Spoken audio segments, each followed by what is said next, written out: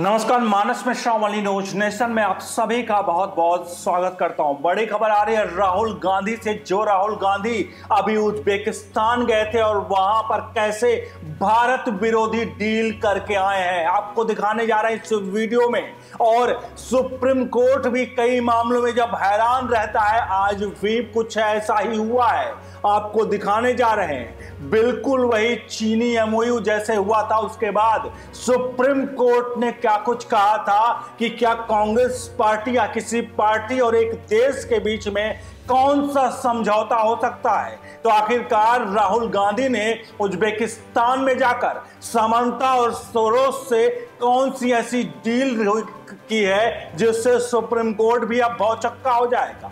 दिखाते हैं आपको इस वीडियो में। आपसे अनुरोध करेंगे, पूरे वीडियो को देखिएगा। और राहुल गांधी का ये जो कृत्य है, जो एक कर्म है, वो प्रधानमंत्री बनने के लिए पूरी तरह से देश की अखंडता को दाव पर लगा रहे हैं। वीडियो के कमेंट बॉक्स में प्रतिक्रिया ज़रूर दीजिएगा और वीडियो को लाइक, शेयर ज़रूर करिएगा। राहुल गांधी अचानक से बिना किसी को बताए उज्बेकिस्तान पहुँच गया, जहाँ वो समंथा पावर से मिला।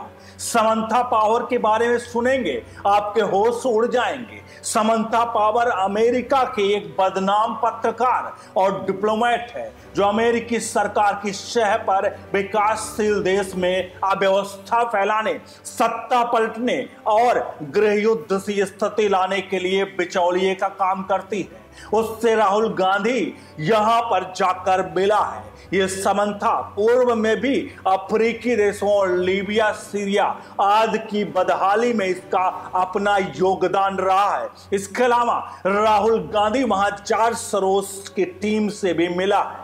आपको दिखाएँगे, भारत में सत्ता पलटने के लिए किसी भी हद तक कैसे राहुल गांधी जा सकते हैं, उसका सबसे अनूठा उदाहरण और ये एक स्ट्रिंग ऑपरेशन ही है जो हम आपको दिखाने जा रहे हैं। माने कि अब सत्ता पाने की बेचैनी इतनी बढ़ गई है कि विदेशी ताकतों तक से हाथ मिलाने को तैयार है गांधी परिवार। भाड़ में गई सत्ता मात्र सत्ता के लिए देश विरोधी ताकतों से हाथ मिलाएँगे। अब हद तो हो गई है कि पूर्व एलिटियस से बाहर ही नहीं आ पा रही गांधी परिवार। उसे इस बात पर यकीन नहीं कर पाना मुश्किल हो रहा है कि सत्ता हमारे पास नहीं है। ये कैसे हो सकता है कि हमारे परिवार से बाहर का कोई आदमी सत्ता संभाले हुए है? देश के सामने ना तुम कुछ हो, ना मोदी। देश से बढ़कर कुछ नहीं है। देश है तो सब कुछ है जो इसके खिलाफ जाएगा। जनता उसी की जगह, उसको कहीं ना कहीं उसकी जगह सही जगह दिखाएगी। देश के विरुद्ध जाकर राहुल गांधी अब अपनी कब्र शायद खोद रहे हैं। अच्छा तो होता, राहुल गांधी उज्बेकिस्तान में इस समानता पावर से मिलने गया था, ये ओबामा के लिए काम करती है। इन लोगों ने लीबिया, सीरिया, यमन में सिविल अनरेस्ट करवाया था। ओबामा के रहते जिसके बाद वो देश के आज एरिस्ट देश बन गया, कहीं ना कहीं बात बात करें, अब ये हेनरी किसिंजर और सोरोस के लिए काम करते ये लोग ह्यूमन राइट्स के नाम पर मिलिट्री इंटरवेंशन करवाने को जाने जाते हैं। कई देशों में ये पिछले साल भारत में भी आई थी और ह्यूमन राइट्स के नाम पर अमेरिका की तरफ़ से, क्योंकि इसे बाइडन ने United States agency for international development का एडमिनिस्ट्रेटर बनाया हुआ है। इन लोगों को काम कराकर ये अरेस्ट करा के कहीं ना कहीं पूरी तरह से ये गेम चेंज करती है। राहुल गांधी लगातार विदेश में कहता आया है कि ये सारे अल्पसंख्यक खतरे में हैं और पश्चिमी देशों को भारत में दखल देना चाहिए। ये उसी के तहत उज्बेकिस्तान में गुप्त मीटिंग करने गया हुआ था। फिर कोई नई टूलकित तैयार हुई है, क्योंकि रजीम चेंज वाले मोदी को किसी भी कीमत पर हटवाना चाहते हैं। क्योंकि मोदी ने आयल, फार्मा और हथियारों तीनों लाबी को नाराज़ किया हुआ है। आप भूल गए होंगे। लेकिन मुझे याद है जब मोदी ने कहा था कि, मित्रों, आपको नहीं पता मैंने कैसे कैसों से दुश्मनी मोल रखी है। जिनका बस चले तो मुझे ज़िंदा ना छोड़े। आज मोदी सरकार ने यूएन के पट्टी के पक्ष में कोई वोट ना देकर खुद को अब स्टैंड रखा है। कई बड़े देश ने भी यही किया है, क्योंकि उसने पट्टी द्वारा मचाए गए ब्लड खराबे का ज़िक्र नहीं किया। ज़िक्र नहीं था। ऐसा कर हमारे मित्र देश का साथ दिया तो एकाएक पूरी टील, जो टूल किट है, वो गैंग मोदी पर टूट पड़ी कि मोदी ने भारत की बदनामी करवा दी बगल के देश भी पट्टी के पक्ष में खड़े हुए हैं, लेकिन भारत नहीं खड़ा हुआ। ये डरपोक मोदी, जो मित्र देश से डर कर उसके खिलाफ नहीं गया, कांग्रेस भी खूब कूदी इस मामले में। और हम होते तो हम पट्टी के पक्ष में ही वोट करते, जिससे ये मज़हब वालों को भड़का सके आपको बता दें, इन सब के बीच में ओबामा एंड बाइडन गैंग मित्र देश से चिढ़ते हैं, खासकर उसके प्रधानमंत्री से। ठीक उसी तरह से मोदी से नफरत करते हैं। फिर इन्होंने कोशिश की है कि मित्र देश और मोदी सरकार के रिश्ते खराब हो। न चीन, न अमेरिका चाहता है कि India, middle east, Europe corridor बने। दोनों को भारत के बढ़ते प्रभुत्व को चिढ़ है। और उन्हें भारत में अपना पालतू चाहिए, जो उन्हें कहने पर, उनके कहने पर यूएन से लेकर सेक्शन के समय तक उनका पिछलग्गू बनकर रखे राहुल गांधी, वही वादा एक बार फिर पूरा करने गया था।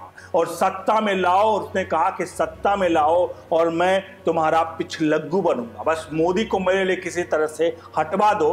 मैंने कोरिसिन से माचिस कब से हाथ में पकड़ी है लेकिन छुटपुट मणिपुर में काम नहीं बन रहा है। कुछ मित्र देश जैसा कांड करवाओ इसलिए फिर आपको याद दिला रहा हूँ। आप तैयार रहें। इनकी बातों में आकर, भावनाओं में बहकर सरकार के खिलाफ बयानबाजी से बचें। जो चाह रहे हैं ये आपकी उसी तरह से विरोध करना चाहते हैं जैसे ट्रंप समर्थक हो गए थे और अब पछता रहे हैं। अभी कहीं पढ़ा कि युद्ध बॉडी देखा, कहीं ना कहीं इस तरह से आपको पक्का मन बनाकर रखे और किसी भी युद्ध के लिए तैयार रहे। जी हाँ आपको बता दें आपको, इन सबके बीच में विधानसभा चुनाव से पहले उज्बेकिस्तान की गुप्त यात्रा, मौज मस्ती और सत्ता को फाड़ फेंकने की साजिश, इस कहानी का फुल मसाला है। गांधी परिवार के वारिस राहुल गांधी कोई काम नहीं करते हैं और ना ही उनका कोई कारोबार है। लेकिन वह चार्टर्ड फ़्लाइट से चलते चलते हैं। देश दुनिया की सैर करते हैं, आलीशान होटलों में ठहरते हैं। आखिर इन सब के लिए पैसा कहाँ से आता है? विधानसभा चुनाव से पहले गांधी परिवार के राजकुमार एक बार फिर विदेश यात्रा से लौट कर आए हैं। इस बार मुस्लिम बहुल्य देश उज्बेकिस्तान को चुना गया। वहाँ एक लड़की के साथ देखे गए। सबसे खास की, वहाँ उन्होंने मोदी सरकार को सत्ता में हटाने के लिए साजिश रचने वाली शासन परिवर्तन एजेंट समंता पावर के साथ बैठक की। यानी मौज मस्ती के साथ मोदी सरकार के खिलाफ साजिश। तो समंता पावर से मिलने उज्बेकिस्तान गए थे राहुल गांधी। और राहुल गांधी की रहस्यमय उज्बेकिस्तान यात्रा यात्रा क्यों है और अभी क्यों? खासकर जब विधानसभा चुनाव का प्रचार चल रहा है और ये चरम पर है। दरअसल यह शासन परिवर्तन एजेंट एक गुप्त बैठक करने के लिए उज्बेकिस्तान में थे। United State agency for international development के ये प्रचारक 23-24 अक्टूबर को क्षेत्रीय कनेक्टिविटी मंत्री सी फाइव प्लस वन की अध्यक्षता करने के लिए उज्बेकिस्तान में थी। समंता पावर को दुनिया के देशों के हस्तक्षेप करने के लिए माना जाता है। ऐसा लगता है कि राहुल गांधी के जीवन का मकसद अब यही रह गया है। कि विदेश में जाकर मौज मस्ती करो और जब मौका मिले, भारत को नीचा दिखाओ। विदेशों में जाकर भारत विरोधी लोगों से मिलना और सत्ता की लालच में किसी भी हद तक गिर जाना, यही उनका चरित्र बन गया है। भारत आकर भले ही वो कुली बन जाए, किसान बन जाए बढ़े ही बन जाए, लेकिन उनकी असली तस्वीर यही है। बड़ा आपको बता दें समंता पावर युद्ध संवाददाता के तौर पर काम किया है। लेखक है, सरकारी अधिकारी रही है, उसके बाद राजनयिक बनी। ये problems for from hell America and is आप जोनोसाइड किताब के लिए 2003 में उसे पुरस्कार मिला था। ये पुरस्कार मिलने वाले जो भी हैं, वो सब कहीं ना कहीं देश में रहकर, देश विरोधी काम करते हैं। उसमें रवीश कुमार को भी ये पुरस्कार मिल चुका है। समंता पावर भी उसी लिस्ट में है। समंता पावर ने ओबामा युग की अमेरिकी विदेशी नीति को आकर देने में महत्वपूर्ण भूमिका निभाई थी। वह राष्ट्रपति ओबामा को लीबिया में सैन्य हस्तक्षेप करने के लिए मनाने में प्रमुख व्यक्ति थी, जिसने लीबिया को अब एक आतंकवादी राज्य बनाकर छोड़ दिया है। जून 2013 में ओबामा ने उन्हें संयुक्त राष्ट्र अमेरिका राजदूत के रूप में नियुक्त किया था। बराक ओबामा का दोहरा मापदंड देखिए। भारतीय मुसलमानों के लिए चिंता जताई। पूर्व अमेरिकी राष्ट्रपति बारक ओबामा एक इंटरव्यू में कहा था, हिंदू बहुसंख्यक, भारत में मुस्लिम अल्पसंख्यकों की सुरक्षा की बात करना आम है। अगर मेरी बात मोदी से होती है तो मेरा तर्क होता है कि अगर आप अल्पसंख्यकों के अधिकारों की सुरक्षा नहीं करते हैं तो मुमकिन है कि भविष्य में भारत विभाजन बढ़े। ये भारत के हितों के उलट होगा। ओबामा ने एक साल में सात मुस्लिम देशों पर छब, छब्बीस हज़ार एक सौ इकहत्तर बम गिराए थे। और अब शांति, उनको शांति का नोबल भी मिला। यही है ओबामा का चरित्र, जिन्हें राष्ट्रपति रहते हुए अमेरिका के दुनिया के सब मुसलमानों पर इस तरह से बम गिराए। अमेरिकी सेना ने इन मामलों, हमलों से हज़ारों नहीं, बल्कि लाखों मुस्लिमों की मौत हुई, जिनमें अधिकतर निर्दोष आम नागरिक थे। पश्चिमी देशों का डबल स्टैंडर्ड देखिए। इसके बावजूद ओबामा को शांति नोबल पुरस्कार दे गया इसी ओबामा ने भारत को अल्पसंख्यकों के अधिकार पर ज्ञान दिया। ओबामा ने कहा, हिंदू अल्पसंख्यक भारत में मुस्लिम अल्पसंख्यकों की सुरक्षा ध्यान देने योग्य है। बड़ी बात यह है कि ओबामा को यह दिव्य ज्ञान तब आया जब प्रधानमंत्री नरेंद्र मोदी अमेरिका की राज्य की यात्रा पर समन्ता पावर उसी डीप स्टेट का हिस्सा है जो अपने हितों को साधने के लिए अन्य देशों के आंतरिक मामलों में हस्तक्षेप करने से बाज नहीं आती है। लीबिया, सीरिया और यमन, इसका सबसे अनूठा उदाहरण समन्ता पावर डीप स्टेट की कितनी महत्वपूर्ण है, उससे इस बात से ही समझा जा सकता है कि अमेरिकी राष्ट्रपति जो बाइडन की सत्ता आने के बाद उसे जनवरी इक्कीस में यूएसएआईडी की प्रमुख के तौर पर नामांकित किया गया।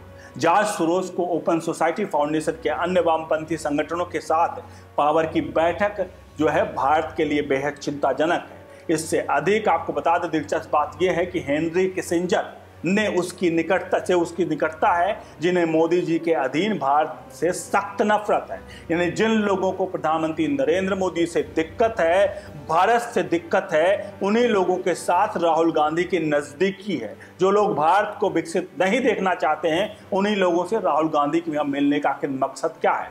समन्ता पावर की भारत में बहुत रुचि है। वह 25 से 27 जुलाई 2022 तक भारत में थी। 26 तारीख को उसने नागरिक समाज के प्रतिनिधियों से मुलाकात की और अल्पसंख्यकों के अधिकार की रक्षा पर भाषण दिए। उसके महत्वपूर्ण चर्च पर चर्च, कहीं ना कहीं महत्व पर चर्चा की और भारत में नागरिक समाज संगठनों के लिए अमेरिका की निरंतर प्रतिबद्धता का आश्वासन दिया।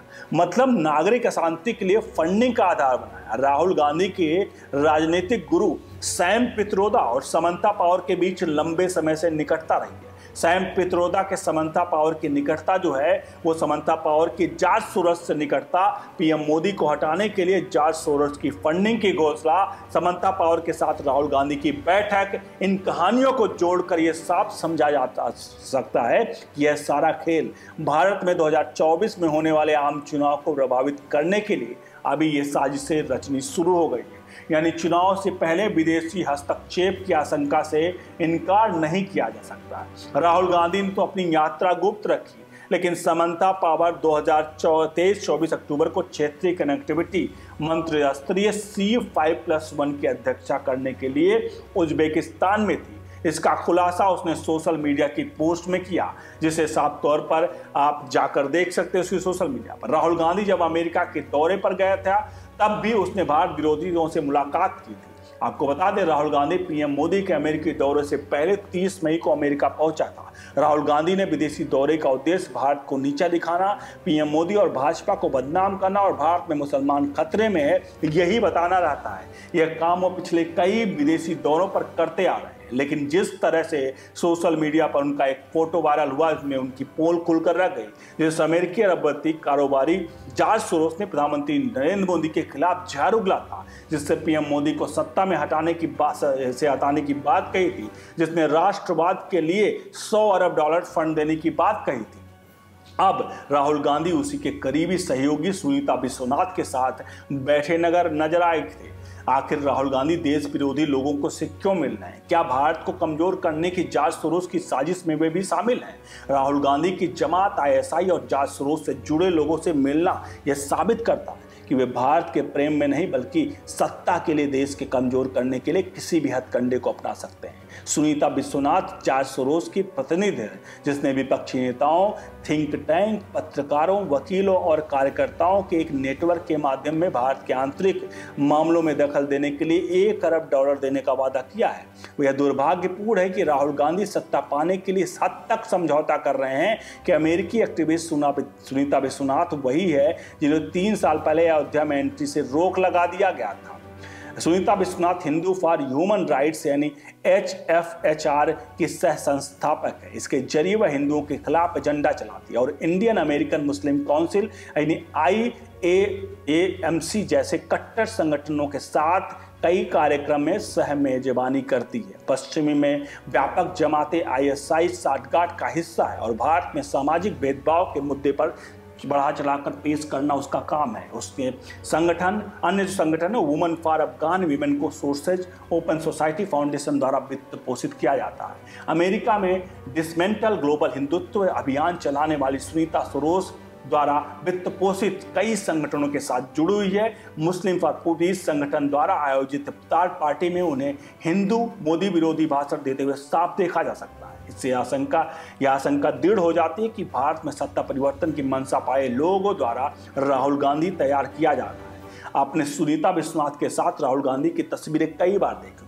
और बैठक में कौन कौन मौजूद थे उसमें अब्दुल मलिक मुजाहिदी जो द्वारा प्रवर्तित भारतीय अमेरिकी मुस्लिम परिषद के जिहादी आईएसआई फ्रंट मैन भी उसमें शामिल। थे हिंदू फॉर ह्यूमन राइट्स केवल मुजाहिदीन द्वारा समर्थित संगठन है और राहुल गांधी कांग्रेस के यूएस इनर सर्किल के कनेक्शन के बारे में जानकर गंभीर चिंताएँ होती हैं। एक चौंकाने वाला रहस्योद्धारकन जो है इंगित करता है कि सर्कल के एक सदस्य को सुरोज द्वारा सीधे वित्त पोषित किया जाता है, जिसका आई और जमात इस्लामी से जुड़े संगठनों से संबंध है, जो आतंकवादी गतिविधियों के लिए जाना जाता है। अब इतना ये चीज़ें आपके सामने साफ़ तौर पर दर्शाती हैं कि आखिरकार राहुल गांधी क्यों विदेश जाते हैं। हिंदू फॉर ह्यूमन राइट्स के संस्थापक सुनीता विश्वनाथ एक ऐसी शख्सियत है जिसका कथित तौर पर पाकिस्तान के जमात इस्लाम के प्रमुख एक व्यक्ति, अब्दुल मलिक मुजाहिदीन के साथ करीबी संबंध है, जो भारत में आतंकी हमले में सीधे तौर पर शामिल होने के लिए जाना जाता है। मुजाहिदीन को जो मुजाहिद है, उसका भारतीय प्रवासी संगठनों का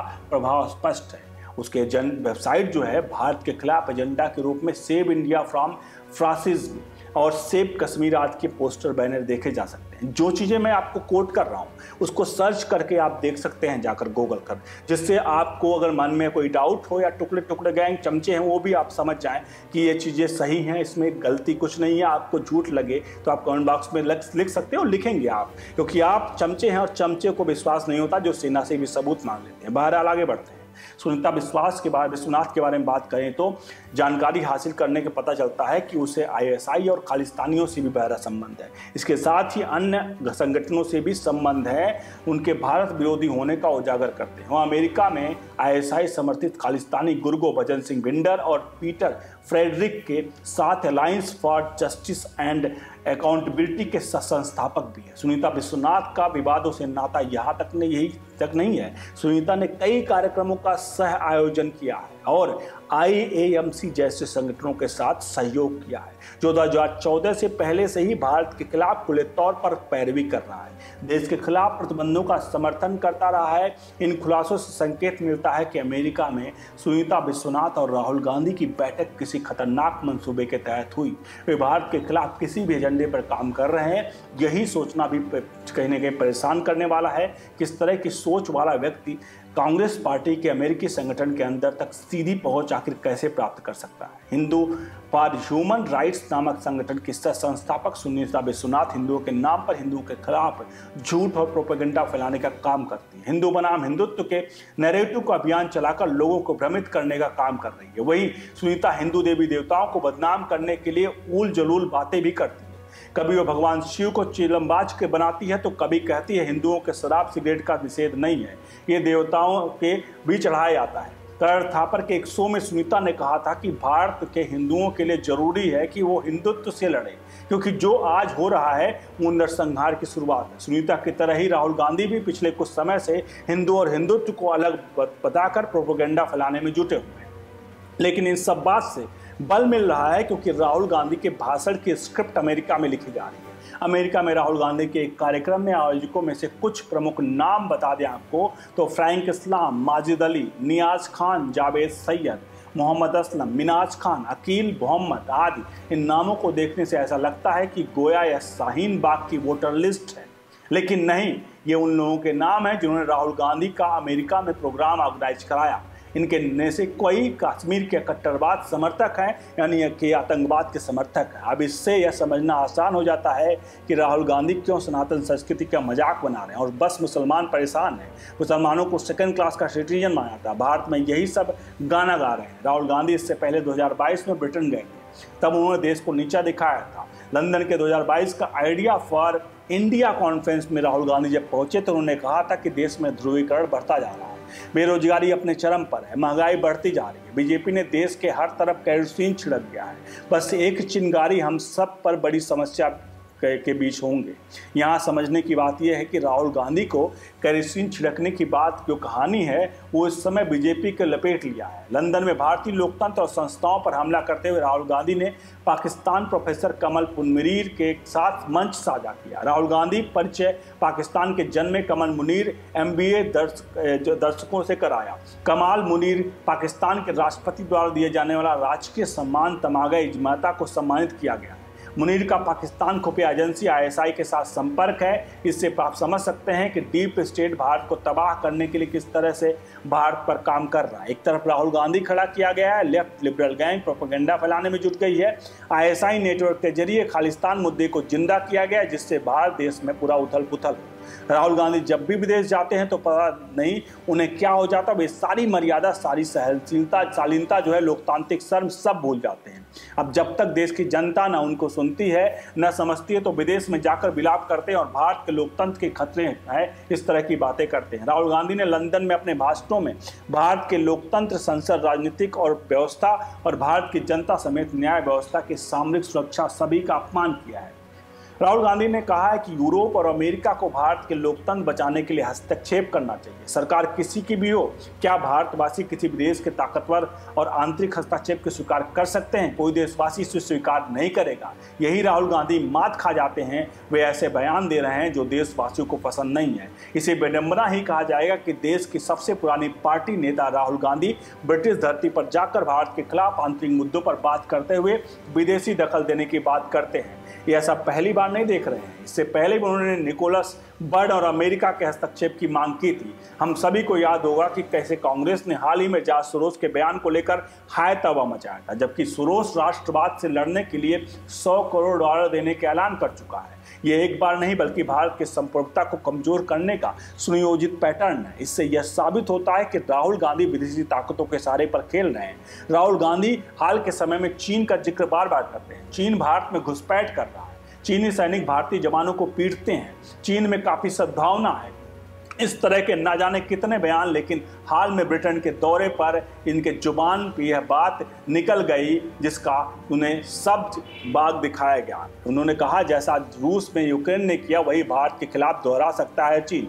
पश्चिमी देशों के डीप स्टेट दुनिया के अपने हिसाब के चलाने के लिए मई 2002 में राहुल गांधी को मेकओवर और पीएम उम्मीदवार बनाने की पटकथा तैयार की उस वक्त राहुल गांधी भी ब्रिटेन के दौरे पर था। उस वक्त यह तय हुआ था कि जिस तरह यूक्रेन में आंदोलन खड़ा कर जेलेस्की और प्रधानमंत्री बनाया गया, उसी तरह 2024 में पीएम मोदी के खिलाफ आंदोलन खड़े करके राहुल गांधी की ताजपोशी कराई गई। राहुल गांधी की मेकोवर की पटकथा कहानी भारत जोड़ो यात्रा से शुरू हो गई थी। इसके बाद पटकथा के मुताबिक पीएम मोदी की छवि खराब करने के लिए बीबीसी डॉक्यूमेंट्री, अडानी समूह बदनाम करने के लिए हिंडबर्ग रिपोर्ट और एन जैसी संस्थाओं पर हमले किए गए। फिर रामचरित मानस के विवाद के ज़रिए हिंदू धर्म को बदनाम करना और खालिस्तान के मुद्दे को हवा देकर देश में आंदोलन की आग में झोंकने की साजिश रची गई। यह सब संयोग नहीं है। खालिस्तान के नए झंडाबाज अमृतपाल सिंह जो बात कहता है, वही राहुल गांधी भी कहते हैं, आरएसएस के खिलाफ एक तरफ़ कनाडा में रिपोर्ट तैयार होती है, उसे आतंकवादी संगठन करा दिया जाता तो दूसरी तरफ़ राहुल गांधी लंदन में आरएसएस के खिलाफ जहर करते हैं। आरएसएस को लेकर उन्हें प्लांटेड सवाल किए जाते हैं। अब आप समझ सकते हैं कि राहुल गांधी जब भी विदेश में जाते हैं, आखिरकार ये सब कुछ क्यों हो रहा है? आप कमेंट बॉक्स में अपनी प्रतिक्रिया ज़रूर लिखेगा ये स्टोरी आपको बड़ी ज़रूर लगी होगी, लेकिन ये सच है राहुल गांधी का कि राहुल गांधी सत्ता पाने के लिए देश के खिलाफ कुछ भी कर सकते हैं और देश विरोधी ताकतों से हाथ मिलाकर, चाहे पाकिस्तान हो, चाहे वो चीन हो, उसकी बड़ाई करने से भी नहीं चुकते और भारत के खिलाफ अगर बस चले तो यूनाइटेड नेशन में भी जाकर प्रधानमंत्री नरेंद्र मोदी को नीचा दिखाने के लिए भारत को नीचा दिखा सकते हैं। आपको अगर वीडियो पसंद आए तो वीडियो को कमेंट बॉक्स में अपनी प्रतिक्रिया ज़रूर दें। बने रहें ओनली न्यूज़ नेशन के साथ। बहुत बहुत धन्यवाद।